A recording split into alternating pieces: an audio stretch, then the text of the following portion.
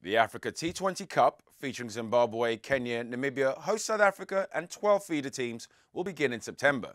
This will be a World Cup style competition, but with fewer World Cup places for associate nations up for grabs, is this the way to grow the game? They say the art of conversation is to talk about the right thing at the right time, and this is the right place. You're watching The Conversation.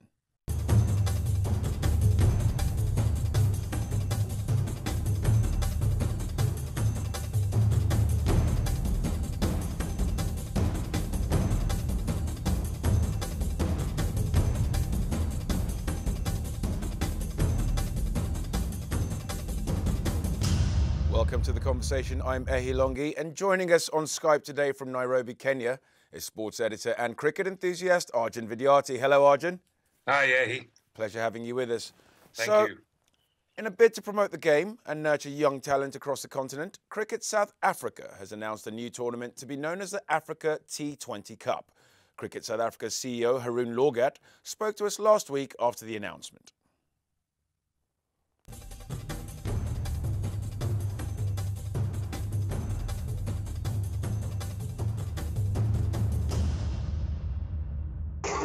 Well, for some while now, as Cricket South Africa, we've been uh, wanting to get ourselves involved into developing the game in Africa. We know the African Cricket Association has been doing a sterling job uh, for a number of years uh, as part of the ICC's development program. But I think being uh, known as the powerhouse uh, on the African continent uh, insofar as cricket is concerned, we felt obligated to get involved. And this was a great opportunity because at the same time we were looking to develop some good content for our domestic uh, affiliates uh, and associate members. Uh, so by marrying the two, uh, we felt this was a great opportunity to develop this T20 competition. We think the continent is ripe for supporting cricket and in particular 2020 cricket. Uh, we did have a domestic uh, tournament uh, for the affiliates in the 2020 format, which we are replacing with this more African uh, 2020 competition. Um, I think there's already some interest domestically. I've uh, been very encouraged since the announcement uh, to see how the continent has reacted to it.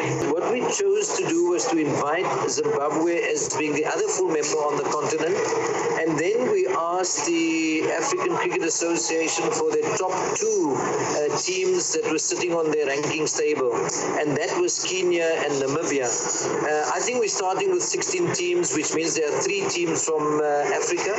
Hopefully, in due course, we will be able to grow the number of teams participating, uh, and that would allow us to include uh, or invite more teams from Africa. I also think it's a great opportunity for emerging cricketers, um, uh, particularly black players, uh, to stake a claim.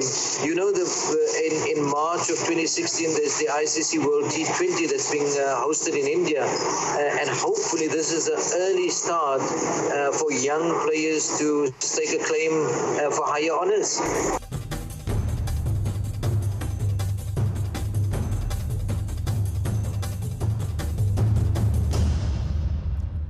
Okay, so Arjun, um, we'll try and break down what uh, Mr. Lorgat said there to different things. There's obviously some domestic matters for South Africa where their own affiliate members get to have possibly a high level of competition and a higher profile competition. But let's start by looking at the African cricket associates that have been invited, and we have Kenya, we have Zimbabwe, we have Namibia. Um, First things first, is this the right way to expand the game? A T20 competition that's giving those players the opportunity, I guess, for a high level and regular competition against each other, and probably with some decent level cricketers emerging from South Africa?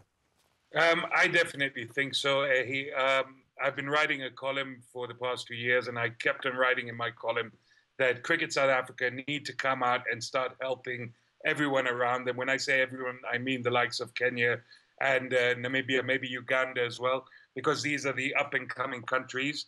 Um, so I think this is a great, great competition.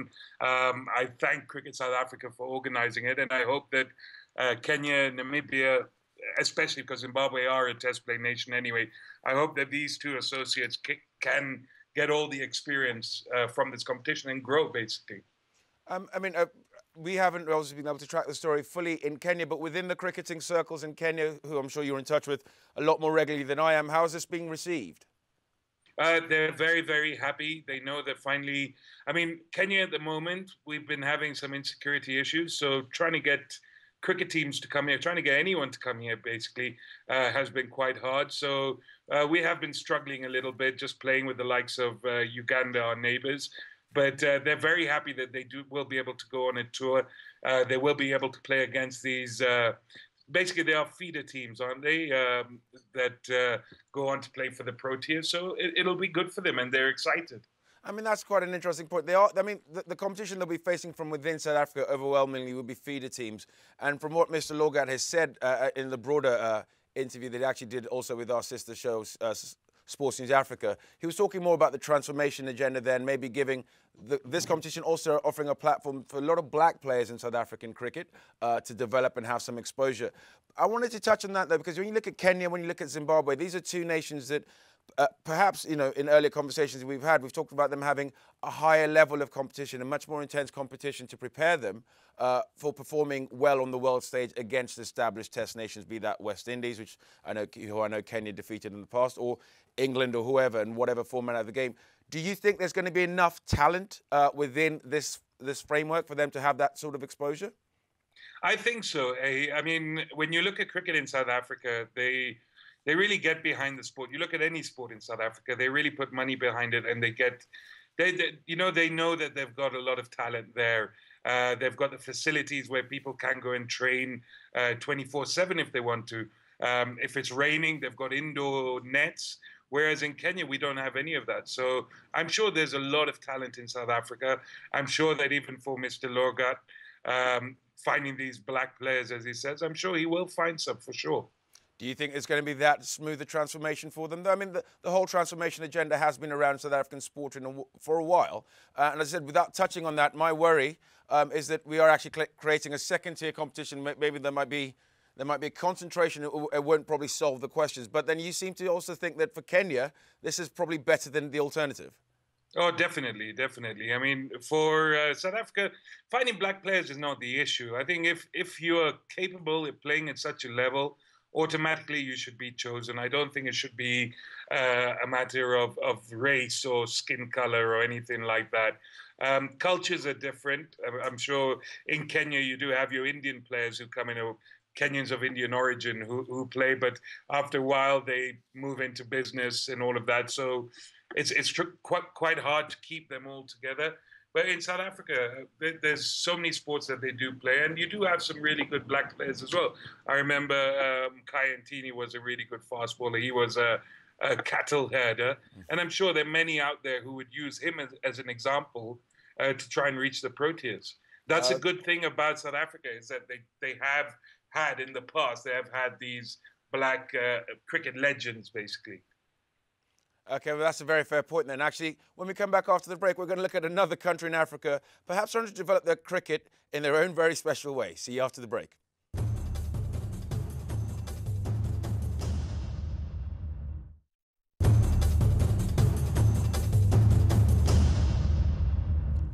Okay, welcome back to the conversation. Uh, I'm discussing, if, if, you didn't know, I'm discussing with Arjun Vidyarthi, who's a cricket enthusiast and sports journalist who's joining us from Nairobi, Kenya. Arjun, I just want to carry on a, uh, a conversation point we're having for the break, and that's actually about everything around the tournament from a point of view of quality. So Kenya, for instance, as, as you've uh, earmarked before, struggling with both corporate involvement, sponsorship, identifying players, development of the game. This is only about T20. Um, if we use rugby as an example, rugby is now an Olympic sport, but it's an Olympic sport because of the sevens. Uh, and through sevens, hopefully 15s will grow. Um, do you see T20 as being the answer in terms of all the formats available? And do you see T20 as perhaps contributing to great test playing nations emerging within Africa? Um, I, I, don't see it that way. I think you can't compare Test Test cricket and T20 cricket. I think T20 should be used to get the excitement and to get a following. Um, when you watch the IPL or even the T20 World Cup, it's just a lot of fun to see the big hits and uh, to, to see the excitement around it. Um, uh, yeah, so in, in Kenya, I think it would really, really help our Kenyan cricketers. At the end of the day, the ICC have said that they want to co- they want the associates to concentrate more on T20 cricket. So I guess competitions like this will help teach them that uh, there are different styles of playing for every type of cricket, be it one day test or T20. Okay, I mean, talking about that, uh, we'll probably look to the. Uh, I, in fact, I'm going to save conversation on the World Cup for, for shortly. But actually, I want to talk about that in terms of we had Ehsan Mani, and I had a conversation with him last week, and it seems to be that uh, might be a generational issue, might be just a policy issue, but the global game is, seems to be more worried about tests matches and maybe protecting the, the status and the, and the importance of test series. But that's something that is a world away, as you've rightly identified from T20.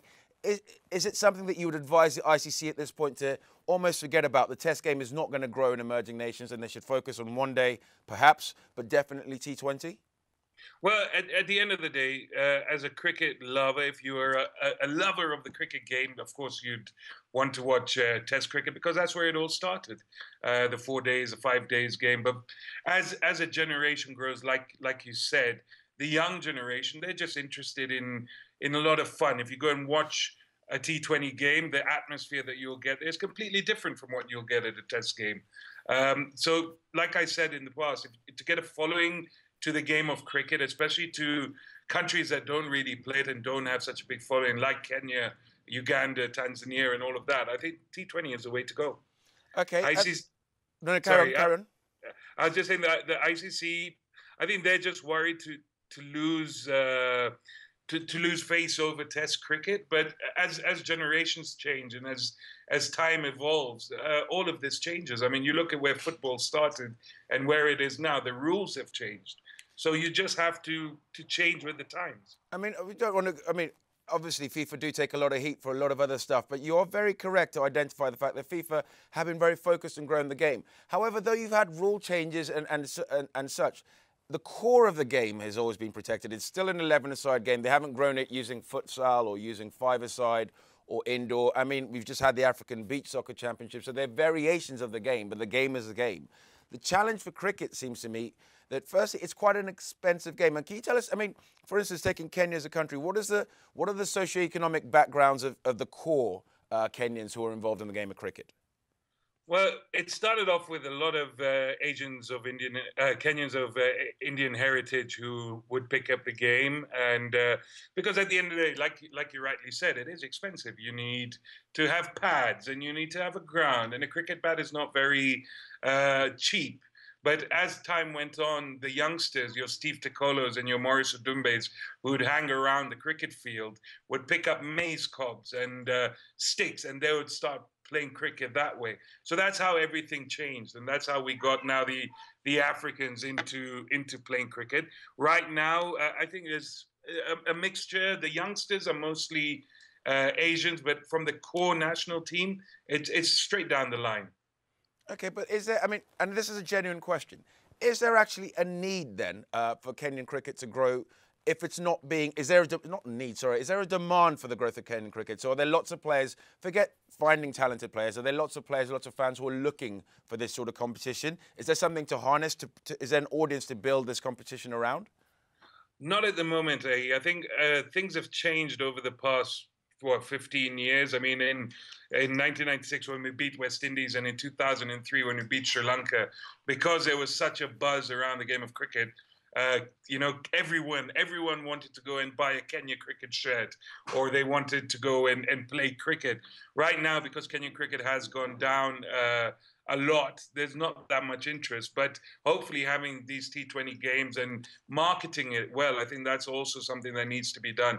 Market the game well, you get interest into the game, and then of course you'll have your youngsters who want to play, and that's when you start your grassroots and you you try and find those those uh, you know hidden gems.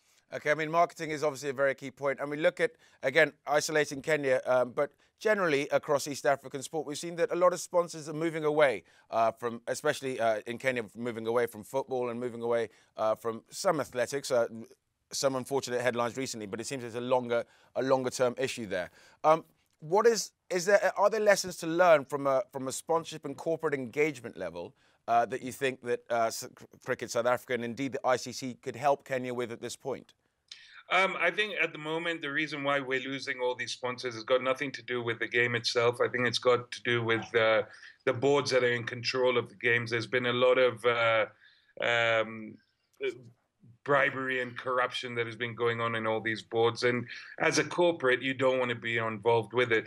So I think what needs to change first is that the government needs to get involved and they need to sort out the boards. And after that, then maybe the, the corporates will come on board and have proper structures in place.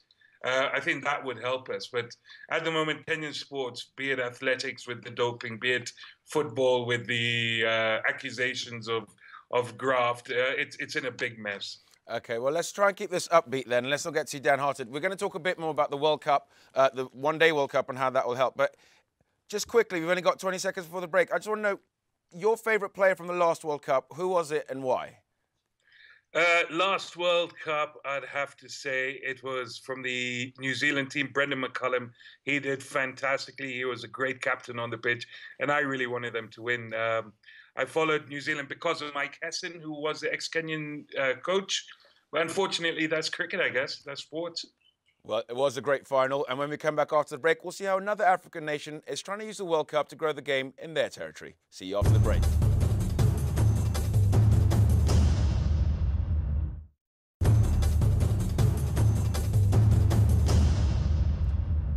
Welcome back to the conversation. Now, talking of World Cups, the Nigeria Cricket Federation is embarking on the construction of two international standard cricket pitches at the Abuja National Stadium. Work has already begun on the pitches, which are expected to be completed in three months, ahead of the National Cricket Club League in September.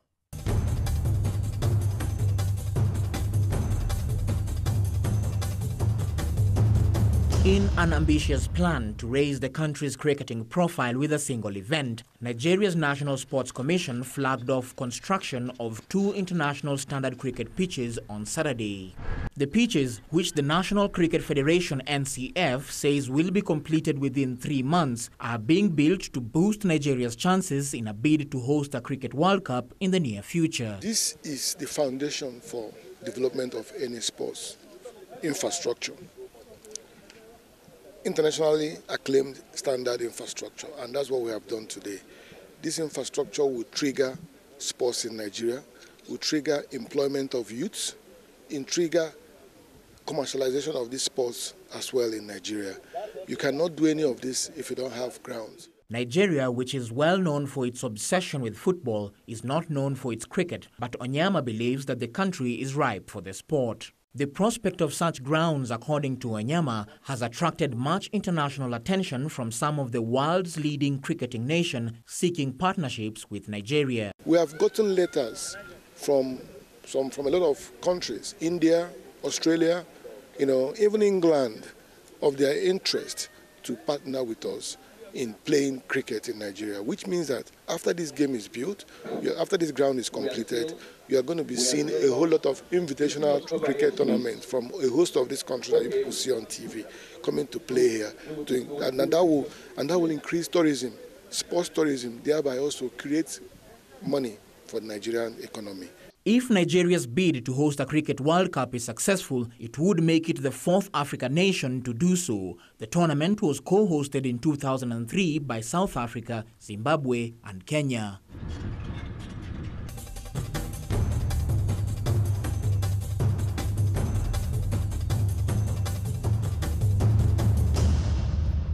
Okay, that was Emeka Onyama there of the Nigeria Cricket Federation, showing an example of how uh, countries themselves can, I suppose, address the issue and, and, and, and create the right framework for the right sort of uh, tours and whatever to happen. But Arjun, talking about tours, one thing we have talked about, and it's not just within Africa, you look at Pakistan, who are now playing uh, most of their cricket outside the UAE. Because there's societal issues, uh, especially look at Kenya, um, you look at Zim uh, having to travel to play Pakistan next month in the UAE. It's more the case that actually getting the right level of competition and getting the heroes and the stars of the game to come into your country to play, putting aside all the other issues, that seems to be something that no one is really able to address as far as cricket within Africa at the moment.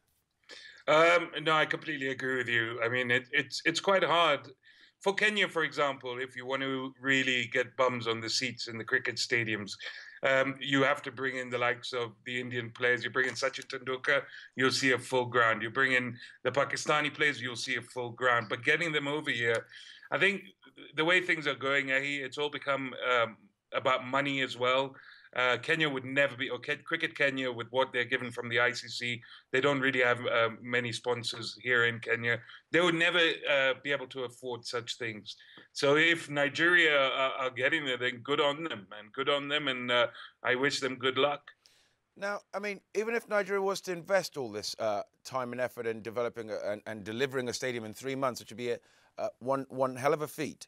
Um, but even if they were to do that, and even if they were to take remove the issue of uh, whether or not they get enough tours. The plans of the ICC themselves, especially with regards to the World Cup, surely they're the biggest hamper for the growth of the game because they're now looking to turn the World Cup, World Cup sorry, into a closed shop. Can you tell us a bit more about this?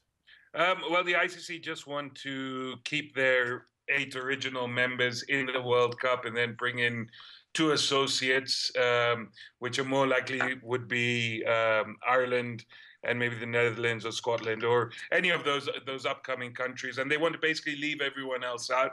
Um, but I have big issues with that.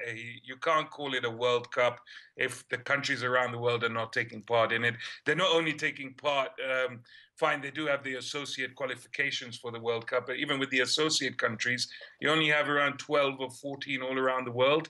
If you look at the Football World Cup, every single region around the world has qualifiers then they play against another region. So so you you deserve to be there. You shouldn't just be walking in knowing every 4 years that you're going to be you know qualifying for a world cup. So the icc i think in this in this uh, have lost a plot.